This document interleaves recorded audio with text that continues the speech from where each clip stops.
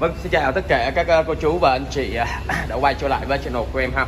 Hiện tại thì chiếc ờ, Daegu Slanos này thì em đã bàn giao về cho một anh trai ở Tây Ninh Anh đã chốt cọc. Và bây giờ thì theo sự yêu cầu của ảnh thì bên anh em tụi em sẽ dọn sơ sơ lại cái dàn lông tí xíu. Thì Thứ nhất là gắn cho khách hàng một cái ờ, camera. Và hiện tại là đang tẩy những cái gọi là cái keo nó bám nha anh chị tại vì trong quá trình thì là tụi em xe ba cái xe cỏ thì tụi em cũng rất là nhiều. Thì ờ, một khi đã chốt cọc thì em cũng muốn làm theo như ý. Và nói chung là làm cho em nó đẹp tí xíu để bàn giao ờ, cho khách trước khi về. Đây nội thất thì em sẽ cho lúc mà đi giao thì sẽ tẩy rửa lại cho khách hàng. À, đây là một cái video trước khi chuẩn bị rời. Rời xe về tây ninh. Đánh mấy cái keo này này nó bay hết luôn dính tí là ống lại.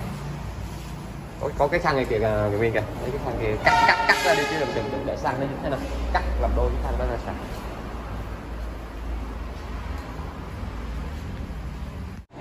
hiện tại thì bây giờ em đang à, lắp à, camera chỉnh lại cái dàn cam này cho chiếc xe Dagu Lanos này cho khách hàng. Này nó bị đứt dây nha anh chị. Nay đứt đứt thân em ra tay em làm luôn. Ok.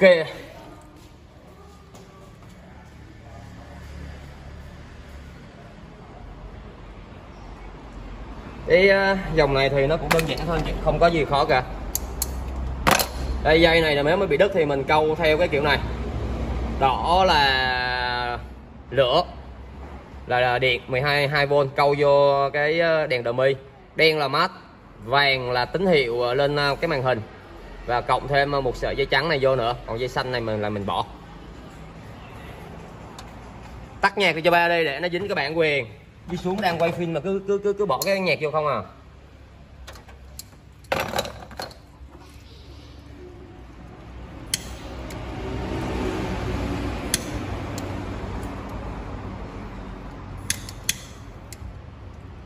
Ờ, nhé, thử cái này lên coi nó có lên không nha cả nhà nha. Còn mắt này nó mà đứt thì ờ, cả nhà cũng cũng không cần phải câu vô đây đâu, câu direct vô trong sườn luôn nha bắt cái này thì nó cũng rất là đơn giản thôi nó cũng không có cái gì nó khó nhưng cái này nó bị đứt dây. Xe này nó bị đứt đứt dây ngay chỗ này là mình phải câu nó lại direct chứ đúng ra là nó có cái dắt nối nha cả nhà. Nó có cái dắt nối giống như mình cắm vô tivi á. Đó đỏ là mình cứ vô đỏ thôi ha. Đó, đỏ nè. Vàng vô vàng. Anh chị thấy không? Vàng vô vàng.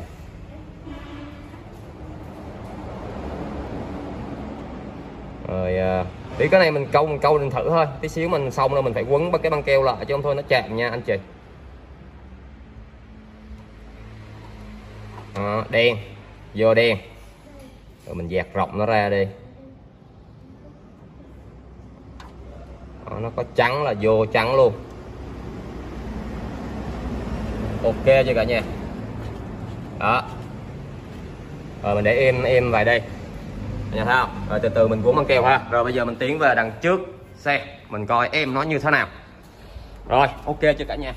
Đóng cái nắp xuống đóng đóng đóng, đóng nắp xuống. Đây em nó đã sống lại nha anh chị anh chị. Quá quá tuyệt vời ok chưa? Đó rồi bây giờ mình đi kiếm băng keo mình quất vô thôi. Nó cam có rồi nè cả nhà. Đây. Rồi, ok, nét như sony.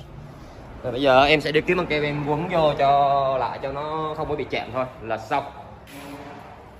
Chiếc xe màn hình của mình thì uh, chiếc xe này là chiếc xe Daewoo Silanos sản xuất đời 2003 Bản số đang đeo là 37A10868 thì uh, cũng như uh, phút video hồi nãy. À, mấy hôm nay thì à, có một anh trai ở khách hàng ở tây ninh anh đã chốt cọc chiếc xe này. Và mấy anh em tụi em cũng đã dọn lại sạch sẽ gắn camera kiểm tra bảo trì bảo dưỡng đèn đóm tất cả các kiểu công đều và bây giờ em nó chỉ việc là lăn bánh là tiến thẳng về lại thành phố tây ninh cho khách hàng thôi. Chiếc sườn màn hình thì quý anh chị thấy hôm nay thì em nó coi như là đẹp lồng lẫy thôi chứ không có đẹp len keng không len xe ben đâu. Tại vì con xe này phân khúc nó chỉ có 50 triệu đồng mà thôi. Thì à, mấy anh em cũng đã là làm lại nè tẩy nè vệ sinh. Đó vệ sinh vệ siết những cái này à, bóng bượng ống mạ chưa ạ? À? đó cho khách hàng. Rồi à, nội thất thì cũng đã dọn dẹp rồi. Đây tắp bi tắp lô là sạch sẽ. Ok chơi xe này thì bây giờ chỉ việc là đổ xăng và lăn bánh và chạy thôi à vậy thấy không nội thất ghế nỉ thì quá ok rồi. Ở xe này thì uh, trong quá trình chạy thì uh, sẽ xuất phát à, mấy trăm cây số để từ Lâm Đồng chạy về lại thành phố Tây Ninh thì à, chạy xuống tới nơi trước khi bàn giao thì cũng phải à, rửa sơ qua một cái. Còn hiện tại thì à, đang nằm trên bãi thì à, tụi em cũng đã dọn dẹp nó sạch sẽ đã bắt camera cho khách hàng. À, với một chiếc uh, xe cỏ thì uh, bên ô tô Duy Anh cũng không biết gì hơn hết. Một khi khách hàng đã tin tưởng và ủng hộ bên em thì uh, mấy anh em cũng quyết tâm nhiệt huyết à, làm à, cho khách hàng vui. Nói chung à, bên tụi em làm làm sao mà con mắt của bên em em nhìn cảm thấy nó được thì khách hàng sẽ ok. Em được 10 điểm thì khách hàng cũng phải được 8 điểm. Chứ mà kêu mà được 10 điểm mà khách hàng xem được có 3 điểm 4 điểm thì coi như là nét. Thua cái đó là gọi là lừa. Đây chờ thao. Sạch sẽ chưa? À, video này thì em cũng muốn gửi tới tới cho khách hàng à, ở tây ninh và cũng à, gửi cho tất cả các cô chú và anh chị à, tham khảo ha à, cũng cảm ơn à, tất cả các anh chị à, trong suốt thời gian qua cũng đã đồng hành và tin tưởng ủng hộ bên ô tô doanh rất là nhiều. Đó xe thì em đã tẩy vệ sinh hết rồi. Rồi hôm nay thì em nói là bóng bảy bóng lượt bóng là rồi. Nói chung là một phân khúc xe cỏ tập chạy tập lái. Vừa đi vừa đẩy và đặc biệt là đi tán gái khá ok. Con xe này tán gái ngon lành. Rồi bây giờ em sẽ kiểm tra lại trước khi à, em xuất bãi ha. Thì cũng như uh, sự yêu cầu của khách hàng thì em cũng đã làm lại à, camera rồi. Đây vô lan vệ sinh lại hôm nay em nó rất là sạch sẽ bóng bẩy lắm anh chị. À, giờ em sẽ kiểm tra lại cho trước khi rời bãi. Đây máy nó ok. Con số nhẹ nhàng máy lạnh thì à, ok luôn. Hai kính chỉnh điện đằng trước hoạt động rất là chân chu anh chị thấy không? Lên xuống nhẹ nhàng ha đây bên này luôn. Ok chưa? Thì xe thì uh, camera có rồi nha. Đây à, anh chị để, để ý cái dòng Lanos này á nó khác là đây là số 1 nè số 2 số 3 số 4 số 5 ve của nó là ở đây L thì ve đây nó nó có một cái này cái lẫy. Đây bấm lên bóp lên kéo lên đẩy về số đẩy về số 1 là em nó ve. Đó. Camera ok chưa? Còn nếu mà anh chị về số 1 thì anh chị không cần nấm cái này. Đó để như vậy là đẩy về đây là số 1 ở nhưng cái này à, nó chỉ à, dòng Dagula nốt là nó dòng, gọi là dòng Dagu là nó hay xài cái cực số như vậy. Còn mấy xe kia thì nó sẽ ve ve ngược đây. Còn cái này mình nấm lại mình ve thôi. Chạy biết rồi nó quen thì máy lạnh là ok nha anh chị nha. Đây là số 1 nè, số 2 số 3 đây là bật quạt lạnh. Còn nếu mà anh chị à, bật lạnh nó không lạnh thì phải nhớ tới cái nút AC ở đây là chỉ quạt không thôi. Đây, mở quạt thôi. Đó, quạt thôi. Còn nếu mà muốn có hơi lạnh thì phải bấm cái nút AC cho nó cắt lóc thì nó mới lên. Đây là nút AC còn đây là lấy gió. Gió đây là lấy lấy gió ngang nè. Nhìn cái ký hiệu là người ta sẽ chỉ mình nè. Đây là lấy gió chân, là chân là dưới cái gầm của mình, chân ga chân côn chân thắng nè. Rồi đây là lấy gió dưới chân. Đây là lấy ờ, gió chân và sấy kính. Cái ký hiệu này là ký hiệu sấy kính nha anh chị. Còn trời mưa quá thì mình bật đây. Là sấy kính còn đây là cái dàn nóng lạnh thì đa số cái dòng xe cỏ về Việt Nam của mình là mấy cái này à, đi YouTube người ta không có xài người ta chỉ xài một dàn lạnh thôi. Chứ dàn nóng là người ta bỏ rồi người ta không có xài. Đa số những dòng xe cỏ là không có xài chỉ có dòng xe đời cao thôi. Đây là nút ưu tiên. Ở xe mình trong quá trình mà bị uh, sự cố ở ngoài đường thì anh chị bấm cái nút này lên là bốn cái đèn xi nhan nó sẽ sáng là báo hiệu xe của mình đang bị sự cố. Đây vô lăng ok cho anh chị? Tay lái trợ lực rất là nhẹ ha. Không hú không hiếc gì hết. Đèn còi xi nhan đầy đủ gạt mưa gạt nắng rất là chân chu. Đây, bơm nước bơm nước rồi còn ok. Mọi chức năng đang hoạt động rất bình thường. Và bây giờ em sẽ ờ, chia sẻ thêm một tí xíu về hệ thống. À, khoang máy để chỉ cho anh chị bảo trì bảo dưỡng ha. Đây là nắp mở cabo. Rồi. Và đây là nắp mở xăng. Ở dưới chân ghế ghế tài đây là nắp mở cớp đây là cái công tắc này là để mình chỉnh cái ngã lưng. Đó ngã lưng ngã cao ngã thấp đó. Anh chị muốn chỉnh tùy và muốn uh, dài rộng thì đây có cái cần ở đây. Đấy muốn uh, chân ngắn chân chân cao là mình kéo ở đây. Thì uh, đây là với một uh, cái khoang máy thì em cũng đã bảo trì bảo dưỡng thay rất là ok cho khách hàng rồi. Đó anh chị thấy không? Máy móc rất là sạch sẽ. Đó máy móc rất là khô ráo và sạch sẽ rồi. Ok cho anh chị? Đó thì bây giờ em sẽ chia sẻ cho anh chị về sử dụng cái uh, uh, kinh nghiệm để mình uh, quá trình mình uh, sử dụng. Mỗi xe thì nói chung là đa số hầu như tất cả các xe xe nào nó cũng giống xe nào cả. Nhưng ví dụ như cái xe thì mà cái bình trợ lực nó nằm ở bên này thì xe này thì nó nằm ở đây có xe thì nó nằm ở đây có xe thì nó nằm ở đây. Nói chung là mình nhìn như là mình là mình biết. Thì đa số muốn phân biệt nhanh nhất thì uh, đây là cái dầu thắng nè anh chị. Thì anh chị đây gọi là cái sẹt bô cái sạc bô hơi của thắng. Thì anh chị nhìn vô đây, ví dụ như là thấy cái sạc bô mà nó có gắn một cái bình dầu đây là mình biết nó là dầu thắng rồi. Thì à, mở cái dầu thắng ra thì nó sẽ có một cái chất gọi là màu vàng. Đây, anh chị thấy không? Đây, nó màu vàng. Nó nhỏ, rất là tông tông tông tông. Nó giống như là dầu máy may vậy đó. Đó, anh, những anh chị nào mà xài cái máy may cổ mà ngày mà ngày xưa á, là cứ mỗi lần đạp máy may là phải cho dầu đó. Thì chai dầu này mình đi ra ngoài cây xăng mình mua là 50 ngàn một chai. Thì trong quá trình mình xài thì anh chị đổ tới đây thôi đừng có đừng có đổ đầy à, nó ít khi nó heo lắm. Dầu à, thắng với dầu trợ lực nó ít khi nó heo lắm. Đa số là nó bị xì cút ben hoặc nó bể mấy những cái cái, cái phốt thì nó mới à, hết 100 phần trăm.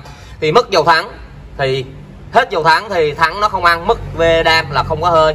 Mất hết dầu trợ lực thì tay lái trợ lực rất là nặng. Nó sẽ kêu kẹt kẹt kẹt. À, còn cái dầu trợ lực anh chị phân biệt thì à, mở lên. Anh chị sẽ thấy có một cái nước nó màu đỏ. Đây. Nó nó màu đỏ. Có loại thì nó cũng là màu vàng nhưng mình nhìn cái bình là mình biết trên này nó có đều cái cái hiệu nè xe nào cũng vậy hết á. Đây nó đều cái cái ký hiệu nè. Anh chị thấy không? Đó thì cái bình thường thường là đa số nó giống giống như vậy. Lấy cho anh cái khăn coi. Đó bây giờ cái chai dầu này thì à, cô chú anh chị à, ra ngoài tiệm à, ngoài cái xăng á, hoặc là những chỗ mà bán phụ tùng ô tô á, thì nó cũng có. Nó cũng có bán là chỉ có bảy tám chục ngàn một chai thì mình về mình chăm vô đây. Đây nó có chữ min và chữ mắt. Đây min là ít mắt là một thì trăm tới chữ mắt thôi là được rồi. Thì à, hai cái này nó ít khi nó hao lắm thì à, đa số là nó bị xì cốt ben hay nó bể ở đường ống thì nó mới hao thì à, triệu chứng của em nó là nếu mà hết dầu thắng thì nó sẽ bị à, mất thắng và hết dầu trợ lực thì nó sẽ bị nặng tay lái. Thì trong quá trình một cuộc hành trình trước khi mình đi làm hoặc là mình đi chơi hành trình xa thì mình sẽ kiểm tra những cái này là trước tiên, lực nắp turbo lên kiểm tra. Và điều quan trọng trước tiên nữa là nước. Đây là trái tim của máy. Ai, nước đây là cái bình nước thì có xe nằm bình nước ở đây có xe nó nằm à, bình nước bên này. Có xe nằm bình nước ở đây. Còn cái này là nó xài két nén. Thì đa số những cái xe khác thì nó sẽ nằm ở đây. Mình mở trực tiếp ở đây. Nó xài cái két nén. Còn đây là bình nước này thì nó xài à, cái nước nén là, là dòng Dagu là nó hay xài cái bình này. Là City Matic sở Bắc là nó hay xài cái này. Thì à, uh, quá trình anh chị thấy nước thì uh, cũng đổ tới đây thôi không được đổ đầy đây là một ống hồi và một ống đàn hồi thì à, mình chạy mình à, đổ nước thì mình lấy nước khoáng á chứ nước khoáng mình uống hoặc là nước à, máy mình đổ vô cũng được nó không quan trọng. Còn anh chị nào kỹ thì mình ra cái xăng mình mua cái chai mà màu xanh hoặc là màu hồng á. Thì cái chai đó mình đổ 40 ngàn 4, 40 ngàn một chai. Cái chai đó mình đổ ít thôi đừng có đổ nhiều. Anh chị đừng có gọi là chơi sang quá đổ đổ đờ rét luôn là nó vô nó có một cái quá chất nó tẩy két nó sẽ làm bục cái két của mình. Đó. Thì uh, trong quá trình là ba cái này anh chị chạy uh, muốn một cuộc hành trình xa hoặc là chạy 100 hai cây cây số là mình dừng lại kiểm tra ba thằng ông kẹ này trước. Đó. Và đến nhớt thì uh, buổi sáng sớm đó, thì mình đậu một cái xe một cái mặt bằng như vậy. Đó đậu nguyên bằng như vậy cho em. Thì mình mới kiểm tra nhớt thì nó mới chính chính xác được. Thì đây là cái tia nhớt. Đây như thế cái tia nhớt. Đó mình rút lên. Rút lên mà lấy một cái dẻ mình lau đây nó sập thì anh chị nhìn đây là thấy nè ký hiệu là min và mắt. Và nửa cây đó mắt á, là đầy min là thiếu và nửa cây thì à, nếu anh chị chọt đây chăm vô chọt vô đó để đầu xe rồi rút lên. Nếu mà nhớt á, nó tới chữ uh, mắt á, là ok cho anh chị mà min là thiếu hoặc là nửa nửa cây thì trong quá trình mà lỡ mà thiếu á, thì anh chị uh, nếu mà trên xe mình có sẵn á, thì mình sẽ chăm luôn chăm vô đây.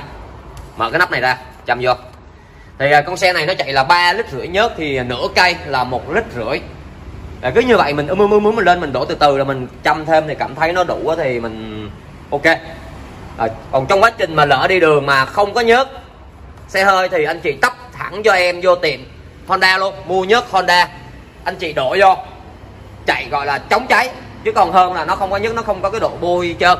Rồi đổ một chai nhớt Honda vô rồi mình chạy tới uh, kiếm cái gara nào đó mình thay thì trong quá trình sử dụng thì cứ hai lần thay nhớt máy là một lần mình thay cái lọc. Đây là cái lọc nhớt đây anh chị. Đây. Cái lọc nhớt đây. Lọc này thì bán tùy 80 ngàn 100 200 mấy nó tùy theo hãng. Nó tùy theo đồ đây. Cứ hai lần thay nhớt máy là một lần anh chị thay cái lọc. Đây này cái này gọi là cái lượt nhớt. Rồi à, khi mà mình chạy à, cũ bên thì tại người mình bảo trì bảo dưỡng thường xuyên mình để ý em nó thì nó sẽ rất ok.